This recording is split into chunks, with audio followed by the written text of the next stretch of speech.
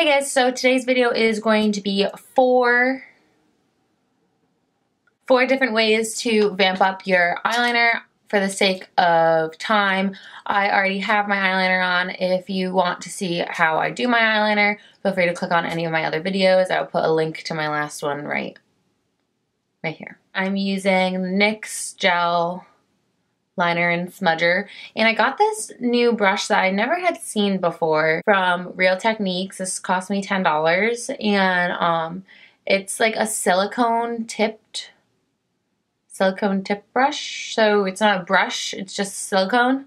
And for if you're using gel liner, I really recommend this because normally when I use gel liner the brush, um, the brush afterwards is like a pain in the ass to clean and all the bristles get like kind of stuck together. This, since there is no bristles, it goes on nice and smooth. For these things, you're going to need your eyeliner of choice. A pencil brush, black, eye, black eyeshadow. That is the words I was looking for. So if you want to see four different ways to change your eyeliner without it being super dramatic, please keep watching. So for this first look, you're just going to take whichever eyeliner you're using, and after you do your wing, you're just going to put three dots right underneath the wing part. I think that this looks really cute, and it's not too much, so even if you're not even wearing any eyeshadow with this, it's still just a little bit something to take your eyeliner to that next level.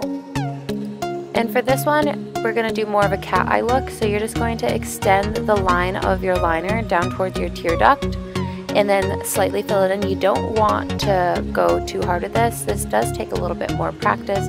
This is always a really fun look to do.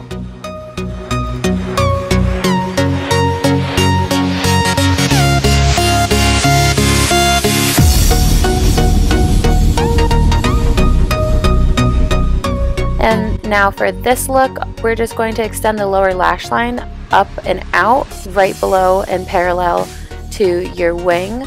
This will help make your eye look a bit more almond shaped and I think that this just looks really cool. You can put a fun color in that negative space between the two lines and again this is just something a little bit different. And then using the black eyeshadow and this pencil brush, we're just going to smoke out this liner. You want to use a very light hand when doing this so you don't end up looking like a panda bear. But yeah, I think that this is my favorite look out of all of them.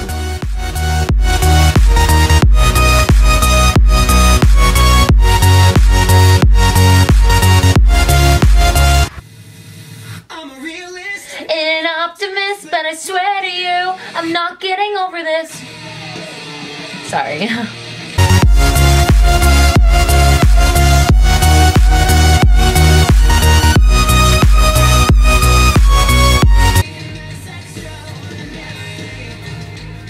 What, Pudge? What do you want? My cats are hungry, so they're stalking me. Realistically, they're fat enough to survive like a month. And they will be fed after this video though, so everybody, it's okay.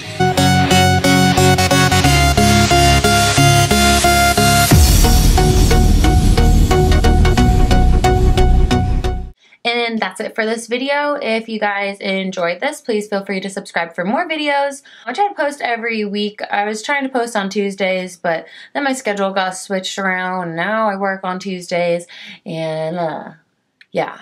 So Tuesdays don't work anymore. I'm just going to aim for by the end of the week, every week.